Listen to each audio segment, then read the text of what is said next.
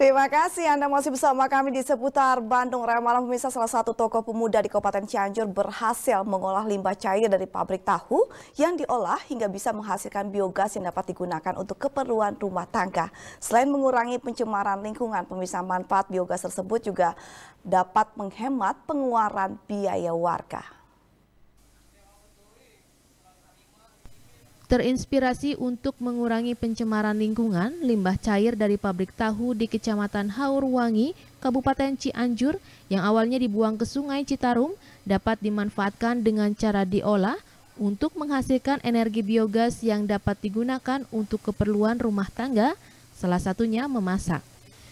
Proses limbah cair pabrik tahu yang berbahan dasar kacang kedelai yang memiliki kandungan energi gas metan awalnya dibuang ke sungai. Namun di tangan seorang pemuda, limbah tahu diolah dan diproses melalui reaktor kubah beton yang dapat menghasilkan energi biogas yang sangat bermanfaat. Hasilnya bisa memasok aliran gas ke sejumlah warga tanpa harus mengeluarkan biaya. Cukup dengan membeli saluran pipa kecil dan selang secukupnya, warga pun dapat menggunakan api biogas untuk memasak sehari-hari. Sekitar 20 kepala keluarga sudah bisa merasakan manfaat biogas.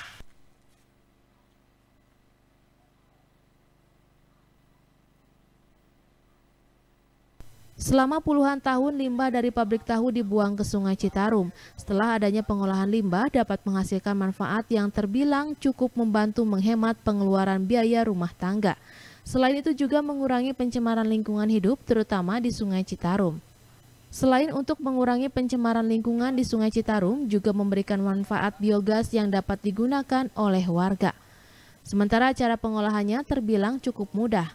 Limbah cair pabrik tahu dibuang melalui saluran pipa untuk dipermentasi dalam sebuah reaktor kubangan beton yang sudah dipasang instalasi saluran pipa. Kubangan atau kubah beton tersebut guna menampung bahan baku energi gas metan.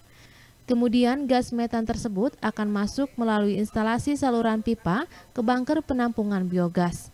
Dari bunker penampungan langsung dapat disalurkan melalui pipa kecil ke rumah warga yang tersambung ke kompor gas. Yang pertama mengurangi pencemaran lingkungan, eh, khususnya untuk kerusakan Sungai Citarum. Yang kedua eh, adanya proses IPAL atau instalasi pengolahan air limbah dikelola menjadi biogas, ada manfaatnya untuk masyarakat sekitar. Adanya pengolahan limbah dari pabrik tahu selain menjaga lingkungan juga dapat mengurangi pengeluaran biaya untuk membeli gas. Membeli gas. Biasanya ibu kalau sebulan itu berapa tabung? Tabung. Tiga. Tiga tabung per bulan ya? ya. Kalau dengan ini gimana jadi? Nggak beli. beli ya. Sangat bermanfaat ya. Bu, tapi gimana Bu? Apinya memang normal kayak biasa atau eh, bisa memenuhi kebutuhan Ibu masak sehari-hari? Normal, normal biasa. Apinya kenceng? Ya, kenceng. Heri Setiawan, Bandung TV.